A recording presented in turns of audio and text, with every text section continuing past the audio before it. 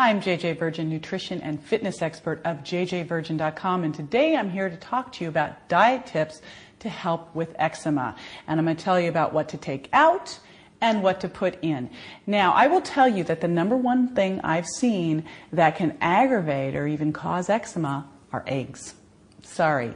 And so the first thing I'm going to tell you to do are pull eggs out of your diet. And along with eggs, do a trial of pulling eggs, all dairy products, and gluten out of your diet. Now, I've got to warn you, these things are ubiquitous. They hide everywhere. They're in the sauces, they're in processed foods. So you're going to have to be very aware when you do this, and you need to do it for a least a month to really give it a good trial because you have to get rid of a lot of the accumulated antibodies and immune complexes that have built up.